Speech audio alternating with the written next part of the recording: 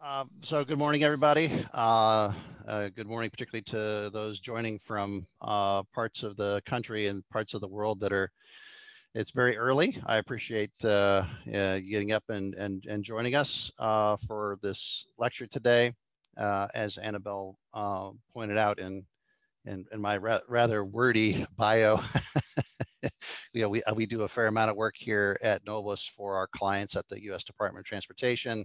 Uh, we also do uh, work uh, across the entire spectrum of uh, government agencies, really with the same kind of role anticipating uh, the impact of emerging technologies, trying to get in front of that to take uh, advantage of those emerging technologies, whether they be in the civilian and non-civilian space, to sort of transform the way that our uh, our federal clients go about uh, achieving their mission, achieving the the goals uh, that they have for for themselves. And you know, our uh, I'm, I'm happy to say that we have been um, you know proud partners and members of the of the MOBI uh, group. Um, not necessarily since it very got got started, but I think we were in, in the in the first group uh, because we see a ton of um, a ton of transformational capability coming from the application of, of blockchain technologies in, in a number of arenas. And today, in particular, I'm going to talk about a non-civilian, I'm sorry, a civilian application, not a non-civilian application, uh, where we think uh, th there's there's fundamental impact from the um, from from moving to a, a, paradigm that that uses that leverages the power of blockchain in a in a use case that is almost um, perfectly suited to its particular strengths. Um, and so our my our my lecture today uh, it's a bit of a mouthful, uh, but it, it, relates to some research work that we've done over the past uh, four years or so and development work uh, looking at concepts of earned trust uh, among machines, uh, the notion of priority, we'll talk about that, and the sort of blockchain driven multi-machine maneuver transaction as, as being something that's not just interesting as, a, as, a, as a concept, but rather potentially something that also has uh, fundamental implications uh, on the way that we uh, operate roadway systems. I'm going to stick primarily to roadway systems today, uh, but also how we finance them. And I think uh, there's been a number of uh, excellent talks in the in the MOBI community around some of these topics. I thought for today I would I would delve a little bit deeper into some of the some of these fundamentals and why fundamentally uh, we see this opportunity uh, for the multi-machine transaction. All right, so just in case you don't have, uh, can't spend all the time with us this morning, I generally do, uh, well, what's this talk about uh, in a nutshell? Uh, and so here are the five key takeaway points for um, my, my briefing today. So the, the first is that it's kind of a no-brainer, but that when you have uh, multiple autonomous vehicles, and they could actually be human-driven. In this case, autonomous is sort of a, a broad term. I'll define in a minute. Uh, multiple autonomous machines and uh, multiple autonomous vehicles in motion require maneuver deconfliction, which is kind of an obvious thing, but it's really true. You, you can't just expect them to avoid each other. Uh, there has to be some sort of um, systematic way of avoiding collision. But if we are going to be serious about deconfliction, it requires some notion of prioritization. Even if uh, we're, we're only interested in making sure there is no collision, the idea that someone goes first and someone goes second and someone goes third is is critical to to deconfliction. So you can't do prior, you can't do every single system like this needs some sort of prioritization realizing priority requires some form of trust among the participants. And, and I would argue preferably earned trust. Let's come back to that in a second. If in fact we can't trust that the other machines won't follow a set of rules uh, that relate to priority, who goes first, then there essentially can be no priority because even if you negotiate it or find a way of identifying priority or, uh, or, or, decree that certain kinds of machines in certain situations have certain kind of priority, if there's no trust that that priority will be respected, then you don't have priority, right? And so there has to be some notion of, of trust uh, built into this uh, concept of operations. And we prefer, honestly, earned trust, which is a different kind of trust we'll talk about a little bit later, uh, in which it's not just, a, well, you should trust this particular machine because it holds a certain certification uh, or it's in a certain position or it's made by a certain manufacturer. uh, that that is sort of uh, where you outsource the notion of trust, but rather earned trust is something where, based on a track record of performance in previous episodic encounters, the machine has developed uh, a recognizable, quantifiable form of trust, machine trust, that can be inserted into these transactions and and the uh, and the maneuvers built around that. So earned trust essentially is the track record of trust, not a trust assigned by a third party.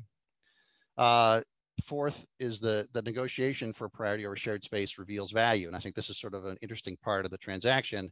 It's probably something that's fairly obvious to an audience of this, uh, this group.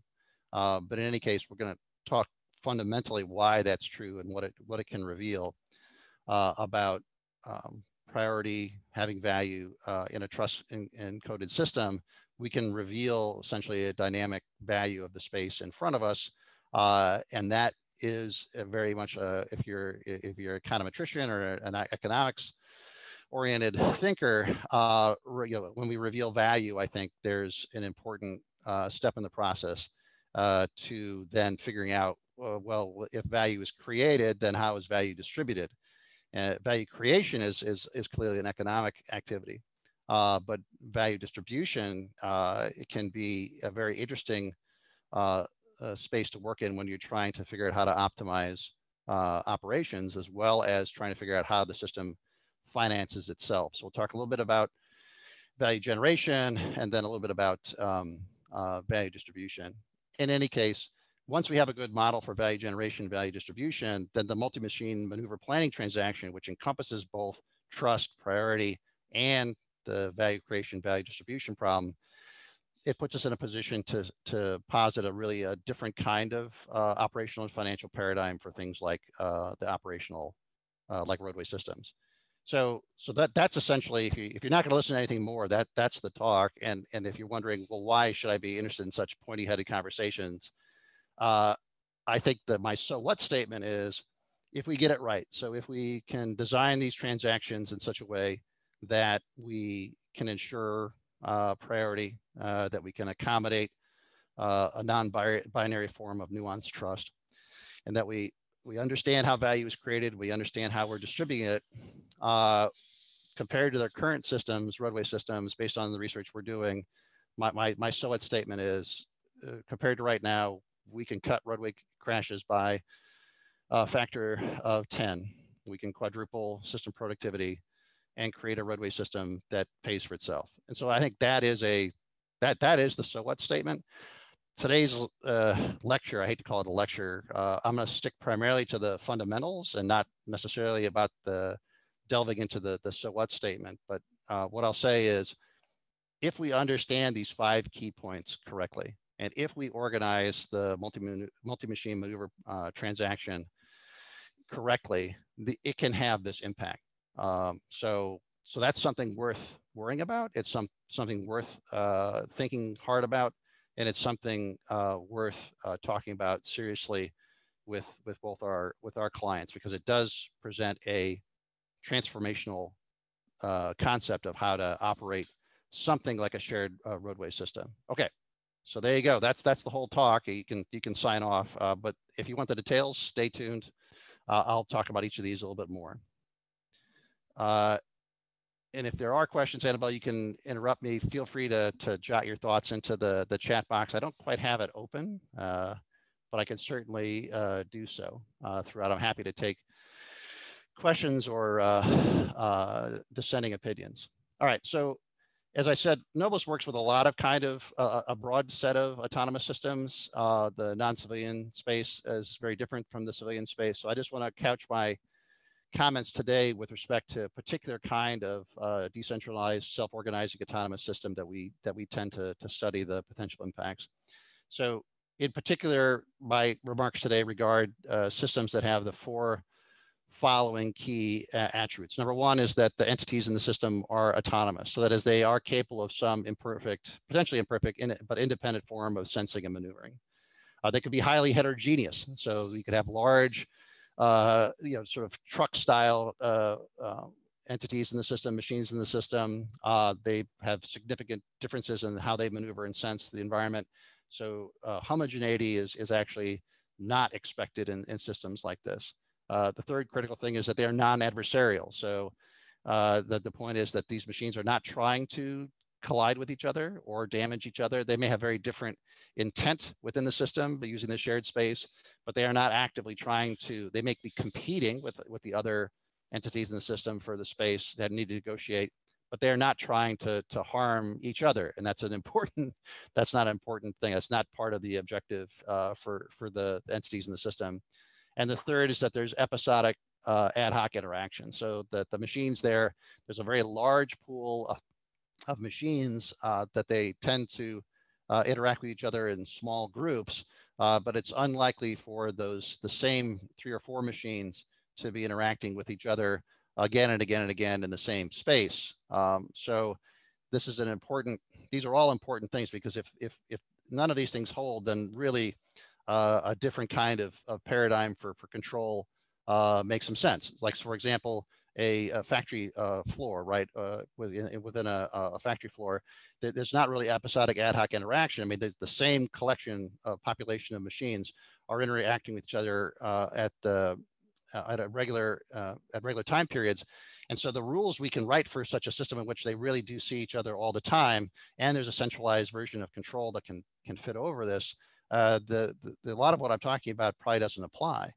But although it seems like a lot of uh, constraints, the good news, I suppose, is that there are a lot of really good examples of decentralized systems that look like this, and and modern roadway systems are really excellent examples of such organizing systems in fact, I, I could go on here. I, I, won't. There, there are other good examples too. A lot of them taken from the transportation realm, but not not all. But for right today, let's because of the MOBI uh, interest, I'm going to focus uh, specifically on uh, roadway systems, uh, that, which are uh, autonomous, whether human-driven or not. The entities in the in the system fit the, this notion of autonomy that I've I've offered up. There's certainly heterogeneity in size, maneuver uh, capability, and weight, performance characteristics it, it is non-adversarial. If you drive in the Washington area, you, you may want to dispute that, or if you if you drive in Boston uh, or, or or Bangkok. I mean, there there are there some parts of it are adversarial, but it's competitive. But really, the intent is not to collide, despite uh, you know maybe some uh, tempers flaring in, in the system. It, when we're talking about roadway systems, it is not an adversarial system like we talk about in in many of our non-civilian use cases. And, and last, it, it, it really does form, uh, fall into this category of episodic ad hoc interaction. If you think about all of the vehicles in the United States, you know, several hundred million vehicles, you know, the, the likelihood that you're going to see the same uh, vehicle again in uh, repeated interactions is, is pretty small. So the, the pool of, of, uh, of participants is large. Uh, the sets of, of machines that interact with each other in a tactile sense, like at this uh, intersection here, are relatively small. And the, the chance that you're going to have repeat encounters and, and, and actually see every other machine in the population is, is pretty small. Uh, so we need to accommodate for the, for the fact that uh, individual machines may not be able to interact directly with every other machine in the population uh, as, as we build uh, the, a notion of how to uh, generate a new form of, uh, of operational control for the system. All right, so point number one. Uh, now we'll go back to the sort of the, the fundamental components. We will refer to roadway systems uh, throughout here as, as, our, as our touch point for the application. But I'm gonna sort of abstract the problem here uh, to, to more uh, autonomous machines in general interacting in a system like the ones we've just, just talked about. So it, when you have multiple machines and they have to share a space, it requires maneuver deconfliction. That's primary, primary point number one. So we have to have some form of uh, maneuver deconfliction. So I'm going to use this little example uh, case uh, throughout the rest of my talk as, as a place to sort of think about the how this works together. So consider four autonomous machines, A, B, C, D here on, on the in the space that have to maneuver around a shared space. There are some obstructions there, but they have waypoints. So for example, A is trying to go to waypoint two, so from the top to the bottom. Uh, and that they have they're not necessarily they're not in conflict with each other. Uh, they're not trying to, to, crash into each other. They're just trying to essentially get their own uh, way, hit their own waypoints, do their own thing uh, according to whatever reason why they're in the system, and, and make it happen without you know colliding with uh, the fixed obstructions or each other. So machine perception of these obstacles in such a system is not uh, omniscient, right? So we, any one of these machines can only see locally around them uh, and have some notion of what's going on. Uh, and that uh, sensation may be blocked honestly by uh, the obstructions that are in the system. So machine B can build a, a map on its own uh, that says, hey, there's, there's probably a low chance of immediate collision on this path directly across the way uh, versus if I was going to waypoint one directly crossing through the obstruction. But they create these dynamic maps uh, together to, to figure out how to how to maneuver through the through the system.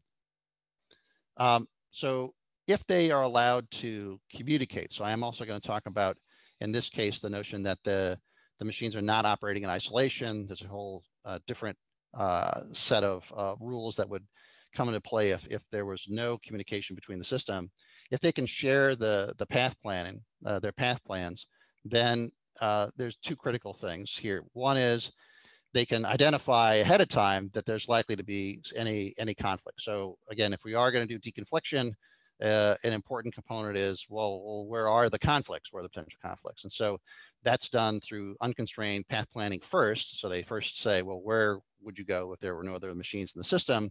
You can see sort of the, the uh, to the left of the screen, the, the notion of where these machines would potentially make a choice to, to go. Uh, and then we can identify conflict overlap in the cases where the, the machines are passing too close by each other for, for safety's sake.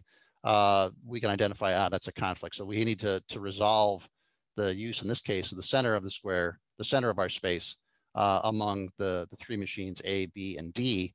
Um, and this so we, we've, we've at least found now there's a there's there's something to be we've identified the the conflict that has to be de deconflicted. So a quick aside on deconfliction. Um, so generally, uh, when we try to do deconfliction at any one of the these spheres, and I my, my graphic on the on the right hand side points out that deconfliction um, depends on use case, it depends on domain. So there are actually plenty of use case uh, rule sets for deconfliction that are used uh, you know, by commercial aircraft, uh, by uh, vehicles on the on the roadway, by uh, ships operating on top of the sea, and, and, so forth. I mean, we we have a rich history as as humans, even in a human-driven environment, of of coming up with rule sets that that help to deconflict potential collisions and make the system more predictable. But but the key thing here is that these rule sets are aligned with the ability of these entities to communicate with each other and sense the system. So humans have very limited ability to uh, to to share information uh, with each other, human drivers in this case, right? So we can do things like use turn signals, but uh, that that's pretty limited. So, but we but we built the paradigm of deconfliction based on these limitations of human drivers. This includes like striping on the roadways, stop signs, uh, rules like, hey, drive on the right, except for, you know, if you're on the parts of the world where you drive on the left, uh, stay within the lanes and, and so forth, right? So all these are essentially common uh, rule sets that help us to, to deconflict uh, collision, uh, deconflict potential collisions in the system based on the limitations of the entities in the system.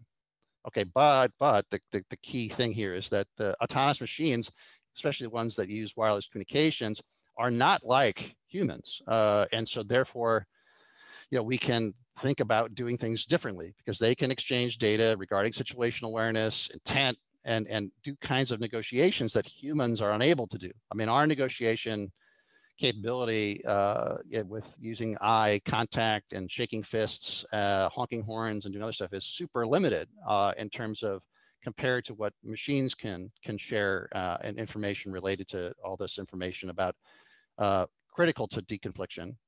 So so this implies that we could anticipate and avoid, you know, we can deconflict in in ways that are completely different than humans uh, in a transaction-driven method that don't have to imitate what what humans do. Uh, and I think this is fairly benign for this group. Uh, I think everybody here would, would agree this is true. But fundamentally, I think it, it offers something specific uh, and valuable. Uh, a transaction, a deconfliction transaction that does not have to align necessarily with the, the way that the humans have done it, uh, kind of opens up a, a, a new system. And I, I, have a I have a different talk about about how we got to where we are as as humans collectively and these common rule sets. I mean, they really built up ad hoc. I mean, if we if if take a look at, at humans, starting with the being uh, uh, drivers of of these kinds of um, uh, automobile technologies, we're only a hundred years, a little over a hundred years into this. Uh, it's figuring it out, and and we we haven't we didn't start with a plan. We, we started with a notion that uh, similar to the way we had operated prior to automobility. And uh, we built up a series of ad hoc rules over time to try to mitigate some of the most egregious uh, forms of, uh, of conflict, collision, fatality in the system. We're still today struggling with it, but it was never part of the grand plan to get to where we are. We, we kind of random walked our way to, to where we are as a species in automobility. Um, and the fact that we consistently accept 30,000 deaths a year for the level of efficiency uh, that we have currently is is really more happenstance than decision. Uh, and so my, the last thing I'll say on this topic before I, I get back to my regular uh, regular scheduled program is that you know, we have an opportunity now to do something that isn't just ad hoc, to actually engineer uh, a form of deconfliction uh, for, for this opportunity that may have a very different and positive uh, improvement over our current situation, which uh, which is this ad hoc situation where we routinely accept uh, 30,000 fatalities in the United States and around the world, even more, uh, for the level of efficiency and productivity that we get from our, our roadway system. That's a different talk. If you'd like to hear more about that, uh, I, I'm happy to give it. But I'm going to stick to the script here and move on to key point number two, so back to our uh, machines in the in this shared space. Key point number two is that uh, you have to have priority in collective maneuver planning, as I reported before. There's there has to be some way of figuring out who goes first.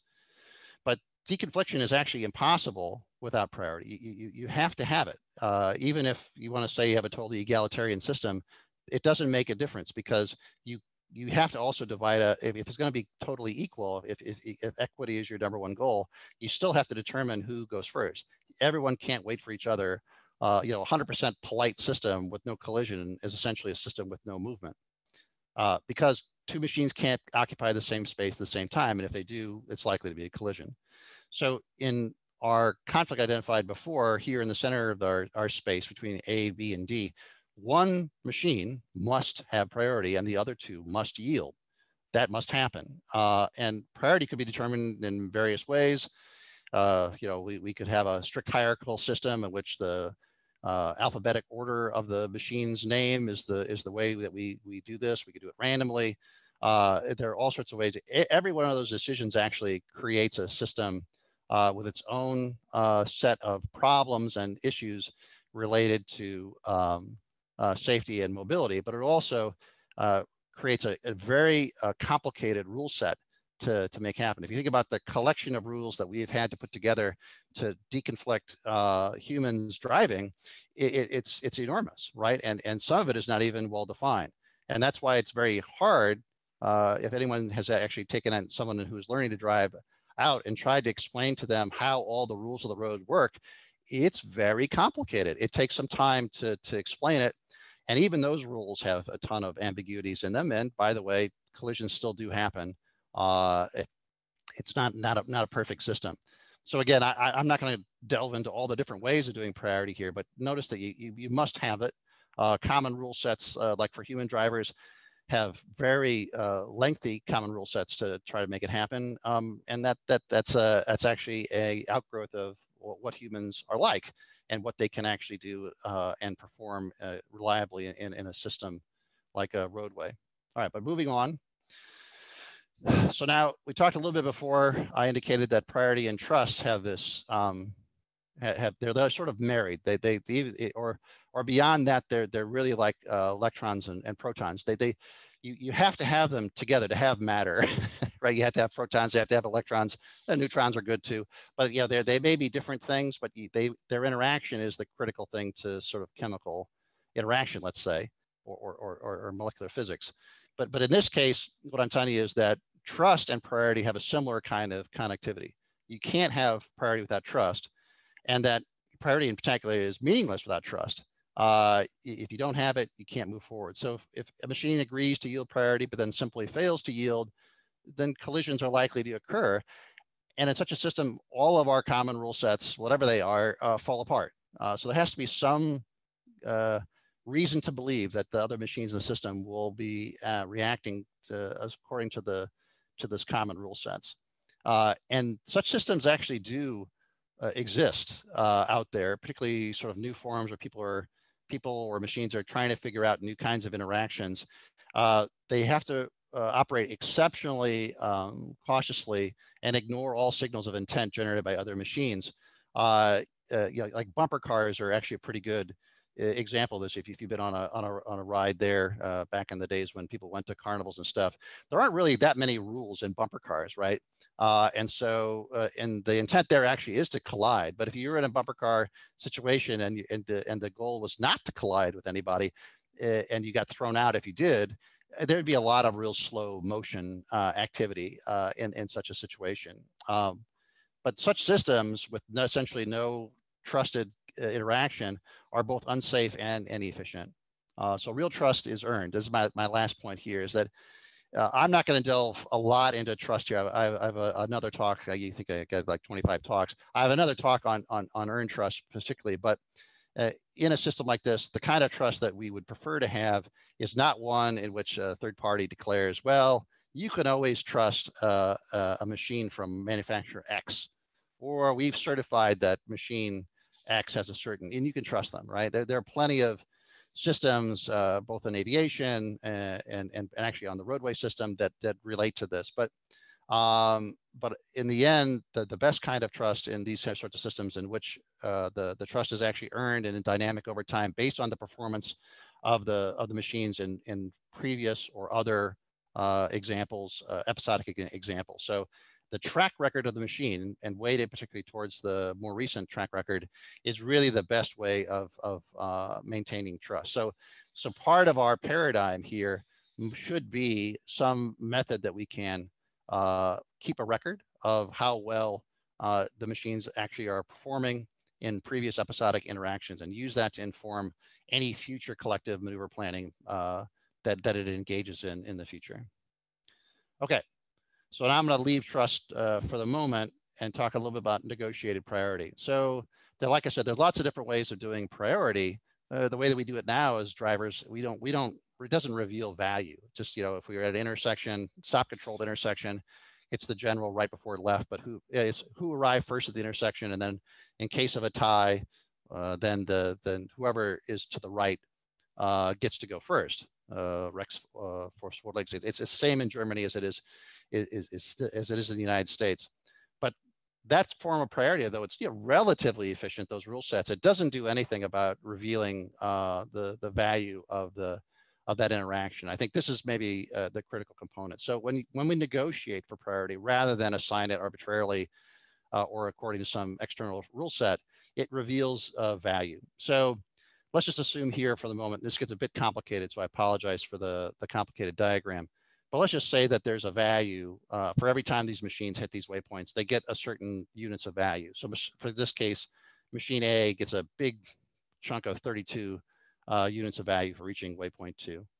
Uh, and, and we can do things, and this is what we do with our uh, rovers or, or our autonomous machines in, in the center here at, at. Uh, you know, uh, we use sealed bid auctions for very quick to sort of resolve these priorities. So the machines, based on this urgency factor or whatever the reward they're going to get for hitting the waypoints, they, they make a bid. The, the three machines that are in conflict for the center compare those bids. Uh, we take the, the, the winner is the second highest bid plus one unit. Uh, and so now the, the good news is, A, we figured out who has priority, and in this machine it is actually, in this case, it is machine A, but, but machine A kicks into the system eight units of value. And then we also note into the system that the yielding vehicle, the yielding machines B and D are uh, are get have yielding value in both in, in that round one, round one of the path requests. So, so two things happen. One is we establish, we, we create value. We understand, we, we quantify the value of that dynamic space. And then the second thing is that we keep track of who yielded because they potentially are entitled to proportion of that value uh, when we do the other critical thing, after value generation is value distribution. Okay. So I, I, I will save you from the fact that there are multiple rounds of negotiation similar to what I just showed you results in a collective maneuver plan. So in this case, we let the machines do their thing. Uh, in a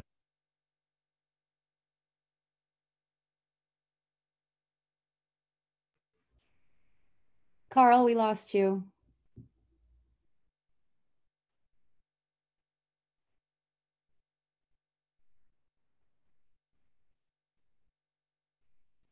Karl, we can hear you. Can you hear us?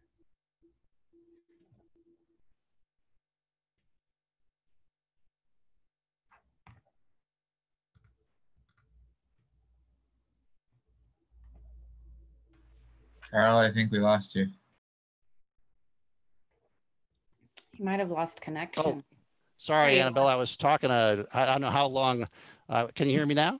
Yeah, we can hear you now. We lost you for about the past 30 seconds. Oh, okay. Well, better 30 seconds than 30 minutes. Um, Okay. we'll go from, I'll take that as the, all right. So I'll just come back real quick here Yeah, to right the. Yep. the, the multiple rounds of priority. Uh, what, what I'll just say quickly is that the, it's a complex negotiation. Once we, eh, a complex negotiation that, that reveals value, uh, which is critical, establishes priority, and and I'll talk about a minute, also relates to, so trust here, and I'll, and I'll come back to that in a minute. But the, but if this plan is then executed, then the machines will have successfully success, self uh, to do three critical things at the same time. Number one, they deconflict themselves, which ensures safety or improves safety. That it maximizes the value of motion uh, by improving efficiency. Everyone understands the intent and has and has a plan where priority is uh, clearly identified. And it, it, it's done this third thing, which is to quantify the value of the dynamic space. And, and last we talk about um, value uh, distribution, it can do have very interesting effects on what the system uh, is positioned to do uh, in the future and how it's financed. But for right now, I want to say, okay, well, that you just assumed, Karl, here that the plan is executed properly. What if it's not executed properly? And I think that is the critical connection for blockchain, right? So number one, it's a complex, uh, uh, it's a relatively complex multi-machine uh, transaction. It has to ha- happen very quickly. Uh, and so the multi-machine transactions can enable this new full ecosystem financial paradigm if it includes all the attributes we just talked about. Did it, can it guarantee, does it establish priority? Does it take into account trust? And does it do value generation? And the answer, we think, with our uh, orchestrated autonomy concept, which you, some of you may have seen before as pieces of eight, and we've entered this in a number of the rounds of the grand challenge with, with MOBI uh, to good effect, is that yes, we think we, we formed a, a concept of how to do that for this um, kind of use case, like around the, the roadway system. So uh, I won't give a ton of information on this uh, chart because I've briefed it before in this venue a couple times. But what I'll say is the machines themselves make transactions, but they also serve as verifiers of other machines when the ex, when the plan is put into action. If, for example, in this case, the yellow car, the yellow drone sees the blue truck go off uh, route, right? If it, if it varies from the plan, it can be essentially reported. And if it's v- egregious enough, the whole uh, transaction will be nullified. And so there are consequences in a smart contracting sort of parenthetical system, blockchain system, to vi- violating the the plan, uh, which is very interesting. But in any case, one of those things that happens is a reduction in the trust score for that machine in further uh, episodic transactions after this, right? So if the blue truck suddenly starts swerving around, is not acting like it had been in the past, is cannot be trusted to do maneuver planning or share sensory information like it had previously. Such things could be noted in our blockchain as part of the transactions. And critically, the, the same blockchain consortium that handles these things deliver trust reports, essentially that, that track record into all future transactions. So this ecosystem uh, combines both this notion of trust with the notion of uh, emergent value identification with the notion of clear prioritization. Uh, so that that is all awesome, and and I think we, we can demonstrate this in physical systems. We have big simulations that that, that do this. Uh, there are all sorts of very interesting tweaks, uh, and the the critical thing I'll say here is how you decide to do various things like manage trusts and and deal with value are all are all super important to to making it work right but it you can write your own rule sets that are very much different than the human inherit the legacy human inherited rule sets about how value is generated how value is distributed and i think that for today is maybe the most critical critical component and the interaction between operations like operational efficiency safety and finance can actually be brought together as one piece of many, many transactions uh, all happening throughout throughout the system. So to talk briefly about that, so considerations related to value distribution. So, so if we have an ecosystem like that generating value, now comes an interesting question. You know, so I didn't say like all of the value generated by a, a vehicle getting priority goes to the vehicles who yield. That's one. That's one mechanism that you could do. Uh, but in general, our approach is if you're trying to build a self-sustaining uh, piece of shared infrastructure or an ecosystem in this case, then it probably should, you probably should be thinking about all of the entities that contribute to that value generation. It's not just that the yielding vehicles are the only ones that are there. I mean, if there was no road, there's no value. If there were no uh, potentially roadside information facilitating uh, communication, or facilitating uh, the identification of obstacles like pedestrians in and around the intersection, then maybe you never could have uh, come to a, a reasonable uh, a, a maneuver plan or a very different kind of highly cautious plan, right? So, so this notion is that value distribution, honestly, we think, and this is you know from the government side in particular, looking at the whole system, should account for all the parties that, that facilitate that value generation machines that include machines that yield priority, entities that provide and maintain the maneuver space, the roads, entities that provide maneuver and sensor verification reports. So maybe there's also infrastructure on the side of the road that also checks to see whether or not the vehicle's executed according to plan. Entities that provide reliable obstacle sensor data or more accurate uh, position and timing data. So we've certainly seen some interesting results related to the value of infrastructure placement in and around uh, locations where it's very difficult to maneuver or line of sight for sensors uh, don't work well. Uh, or conditions present like low visibility in which uh, like a supporting set of infrared sensor systems can be crucial right to, to making sure that the that the machines can move without colliding with each other at relatively high speeds and then finally the sort of the, the ecosystem that provides and inserts the trust reports, the blockchain related activities in this case, the stuff that we think really is a, a natural application for blockchain uh, is, are all parts of this ecosystem. And so that value generation, and I'll go back here just real quick. We generated eight here for, as an example. Um, one of the reasons we call this the pieces of eight system is that when we generate value, that's great but how we chop up that coin, if you know anything, if you if you're familiar with the pieces of eight as a, a big silver doubloon from the Spanish uh, era uh, uh, in the 15, 1600s, 1700s, and in fact, colonial America was driven primarily by chopping up uh, microtransactions or small transactions between uh, farmers and so forth in the in the colonies uh, in the United States were driven primarily by taking these big Spanish coins and chopping them up into eight pieces because they had marks on them that would allow that to equally be uh, easily be chopped up because the, the, the, doubloon itself was too large a value to really be useful for day-to-day uh, transactions. But if you chop them up, then you could actually uh, do something useful and, and, and identify and, and, facilitate trade for things like you know chickens and bales of hay and I don't know whatever else uh, mugs I don't know now, now you get me I don't really know what they're trading in in colonial times but you get the idea something that that is that a king wouldn't buy but that regular people would do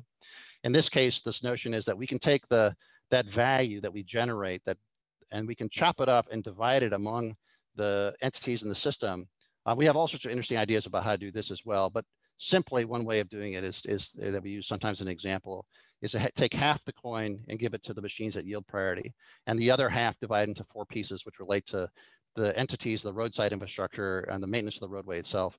Uh, and essentially everybody gets a piece of the eight, right? A piece of this big Spanish doubloon or this value generation as a way, as a, as I say, simple notion of how to do it. Because in, in this case, we really uh, uh, have generated value, but now we've made a collective decision to distribute the value in ways that rewards or uh, compensates the, the fact that it's not free to do any of these uh, items here on the, on the list I've provided. So, uh, so my, here's a slide about what does it mean for roadway system and finance? So currently, as you probably all know, uh, we, we finance our roads based on legacy fuel tax driven models, which are completely falling apart. Uh, they, the, the fuel consumption is down. Electric vehicles don't use gas. there is no over the road uh, user fee on on uh, and road user fees and and, and except for toll roads and so forth. Uh, and these trends, these problems in terms of shortfalls, continue to um, to expect to, to grow over time. So so we're not saying necessarily that this uh, that what we provided in the pieces of eight solves every one of those problems. That that's that's too facile. But what I will say is that a machine-centric method of collective maneuver planning and, and the simultaneous identification of linking operation, system revenue generation, value generation, value distribution is an excellent way to start a conversation about how to uh, align those things in ways that we never had before with the human paradigm that we can use this notion of autonomy and blockchain and other these other technologies to create a new model for for finance that can replace the, the our current models uh, with a bunch of really great other uh, side effects like really improving the safety of the system as well as the, the productivity. Because and people say well why is it improve productivity? And we've done this again with some of our uh, estimates of it with some of our rover work uh, in our lab as well as in the simulation. And the reason is because uh, humans have significant limitations about how they can maneuver uh, machines uh, can do a much better job they can get much closer to each other they can go side to side and and the other critical thing is that uh, you can take away the the sort of rigid idea that you know, for example, the three lanes of the uh, of a bridge northbound are always uh, uh, set for northbound travel, and three lanes are set for southbound. It, it, allows the machine so if you have a system like this, the maneuver plans can dynamically adapt to whatever the demand is. Uh, and so, if in fact we do need six lanes outbound at some point, say for an evacuation, or five lanes or 3.7 lanes, whatever else, we can dynamically allocate them to, to maximize the efficiency. And, and the overall multiplier, we think, uh, based on our early research, is around four times in terms of overall system productivity. So, so that essentially is the again back to the to the so what, but it's built on um, this notion of getting the transactions right. If we can build the transactions correctly, we can have all these uh, benefits. If we build the transactions uh, just to mimic the way that we do it now in the human uh, centric system, then we essentially will end up right back where we were, or maybe just a slight improvement over what we currently have, which is a system that is hopefully it's a little bit safer. So I think that that's great, uh, but maybe no more uh, efficient than it was. And certainly we still will be arguing over who pays uh, for for such a system. And and I think the the arguing over who pays is is to some degree some of the critical uh, issues. Uh, if we do need infrastructure on the roadway, I mean, we do need roadways, right? We need if we do need infrastructure on the side of the road to to support um, I think to, to really support the, the dream of uh, you know, highly autonomous machines working in the system together, uh, these sorts of transactions, correct, uh, you know, really well-designed, planned transactions gives us this opportunity. And I think with that, I'm gonna I'm gonna stop Annabelle, and hopefully my mic is still on. I have been talking uh, on mute for the last 15 minutes. No, you're good. You're good. Uh, Karl, I do have a question from Ben Town. Are you ready for it, or do you need a little bit more time to finish up the presentation? No, no, I'm done. That that I've, I've I have no more prepared remarks. So people should feel free to ask questions. Uh, you know, give me a counterpoint. I'm I'm happy to engage. All right, let's go. Um, from Ben Town, is mileage or some loose variation thereof, for example, mileage above, below a certain speed, a reasonable proxy for earned trust. There seems to be some survivorship bias that if a vehicle did not yield after agreeing to do so, it would be less likely to continue to be roadworthy. Uh, wow, so it's an excellent it's an excellent question. So so yes, uh, I think there are all sorts of proxies, right? So so that is that's absolutely true. Um, and we, we have some of those kinds of proxies in our in our current system.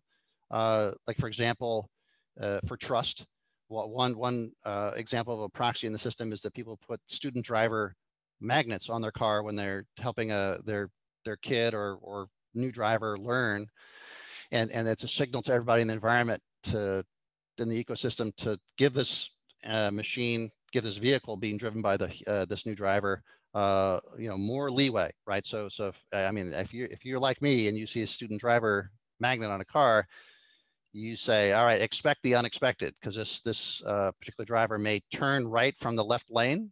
They may straddle the the dotted line. They they they will they will maybe deviate from the rule set. Okay, so so that that's one particular form of of uh, trust signaling in our current system. So so it's imperfect for sure. Uh, it's approximation, but and do, do, I, I, haven't actually seen the statistics. I'm not, I don't know. It'd be an interesting point if anybody knows whether or not the the the use of student driver magnets or, or rookie driver magnets on cars have actually reduced the number of crashes involving rookie cars. But you get the intent there, which is to to share trust. Now, is there another form of trust somewhere in between that we can discern by aggregate? And so I think insurance companies do this a lot, right? By looking at how much uh, vehicles can travel before time time between collision for any particular driver, right? So that that's an example, and maybe that gets to your point, uh, Ben, uh, related to uh, yes, we we we do try to do some even more nuanced uh, notions of what is trust through our in, through driver insurance currently, right? By saying, all right, well, this person uh, this driver tends to, you know, I'm gonna get go out on a limb here, get drunk a lot, crash a lot, whatever. So they have to pay a higher premium. So the system is trying to to signal the system that they uh, that they are paying a penalty for entering in the system, even though they're not as trusted an entity, but it's at a very aggregate level. And and and further, if they're if they're so terrible, if they're unsafe, uh, in, in, in, in, an egregious way, they can have their driver's license uh, revoked and then be essentially removed from the system, uh, uh, which I think is is a useful notion of of, of trust in, in, our current. So so your notion of can sort of roadworthiness, uh, amount of time, time between collisions or time between conflict, uh, be a surrogate for trust? And I think the answer is yes, it, but I think it's all part of the spectrum going essentially from uh, something as simple as the uh, as the student driver magnet all the way over to what I'm talking about here, uh, because I think the the way the machines can really uh, talk about and construct uh, uh, detailed trust reports that it relates to centimeter level uh, resolution on maneuver capability, right? So that that's what we deal with with our our machines in our lab. We we we we trust them uh, based on how much, but it's at centimeter level uh, differences about whether they can follow a path uh, how much they can, how fast they can go and maintain uh, adherence to a, a, path that includes not only the width of the vehicle uh, of the machine, but also the the buffer space uh, around it that is uh, that is required for for it to, to maneuver. So it's it's a matter it's a matter of, of resolution and granularity. Uh, so I think absolutely you're, you're you're thinking about a very interesting way of doing it. That's an improvement on our current system, but it but it kind of pales in comparison to the kind of precision that we can get from uh, a pure machine system. And, and, and I will also absolutely admit that you can't leap directly into everything being all machines. It has to be something also in the middle where there are humans. Uh, so there are, we need to explore that middle ground too, to establish what, what that means. And actually that's another uh, part of our research program here at Noblis, um, looking at sort of uh, mixed human and machine systems and a shared notion of uh, trust based on performance and repeated encounters, it actually is uh, it, it is quite amenable to, to the way that the humans and the machines build up trust. But what it means and how it's actualized for machines and, and humans are or must be related and commensurate with the ability of the particular thing, either the machine or the human, to interpret those signals and react in the system. So Ben, you asked an excellent question, and I've given you a, maybe a very long answer to, to some different kind of question, but hopefully that that is roughly in the range of your question. Thank you. I have more questions for you. Okay. Blockchain has the problem of a low speed and high energy consumption. How will blockchain be able to deal with all the transactions? All right. Yeah. So yeah, we get this one. Yeah, we get the, this one a lot. Um, and I think we've we've solved it uh, the best we can for uh, practical purposes. So there there are two things. I'm gonna go back a, a, slide here, and actually just found the chat pod so I can look at these myself. Um, but uh, here um, so what we do is we divide the world up into the fast moving space, which is essentially this collective maneuver planning space among the machines in proximity to each other within inside this proximity boundary. And then the slow moving space out here relates to the management of the of the trust. Because you're exactly right. If if if blockchain is out here, uh, if we had to wait for blockchain, uh, depending on the type of blockchain you use and the proof of blank to to do it, uh, it it's just too slow. So the collective maneuver space uh, here must be very quick. We, we do all this in about a tenth of a second with our current uh, generation of, of machines in our lab. So they do the whole thing, uh, negotiation, transaction formation, uh, maneuver planning, uh, and then they and then they execute against that. It takes about a tenth of a second to do all that. Uh, it's, it's very quick. but what we do is we have a separate set of servers on the outside that manage these reports as the transactions come in. So it not it doesn't happen in real time. So so if in fact the blue truck has done something that has proven itself to be untrustworthy, it doesn't get fed back into the system until the slow moving space catches up with the uh, with the fast moving space. And for our lab examples, that's probably a 10 to 15 minute delay. Uh, what would be at scale for a roadway system like the United States? Uh, I, I, don't have a, a, good estimate for yet, but the critical thing is to engage the blockchain in the slow moving space that relates to feeding the, you know, to, to uh, managing this value distribution issue, as well as managing the, the trust reports, which then are inserted back into the fast, the multiple fast moving spaces out in the uh, out in the system. So it, it's uh, you could do this all without blockchain, but the but the notion is that we believe blockchain is perfect because for this application, given the the nature of the decentralized interaction among the entities, and the fact that it's a relatively complex transaction that requires verification all that can be built into something relatively simply in a blockchain situation. It could also be done without blockchain, but uh, the the security of the blockchain and the multiple eyes on the on the on the uh, on the blockchain itself in our consortium model helps to to make it happen. But speed, I think, I think we kind of figured it out. Um, I have a another a follow-up question sure. from the the same person. How does one need to redesign roadways to allow for this kind of passing behavior? How does that impact pedestrians, cyclists, etc.?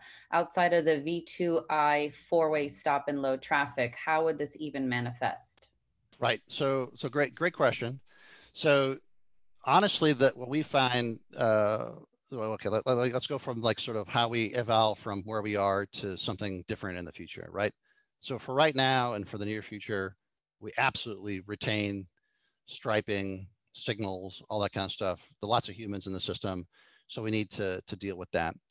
Um, but I don't think we need to uh, be beholden to those forever. And in fact, I am a little bit uh, concerned about uh, notions of, of, automated driving that, that strictly adhere to or mimic human driving as the endpoint for for system interaction because again it just leaves us in the same ad hoc collective position we were have developed over the last 120 years as a species within automobility.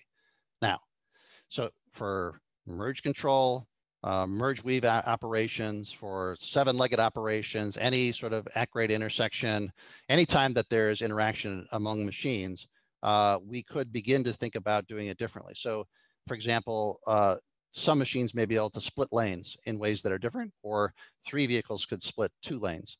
Uh, in this case, if they were able to have enough uh, uh, capability to, to do so, or use the shoulders, I guess that's the other critical thing. So we could start having shoulder use.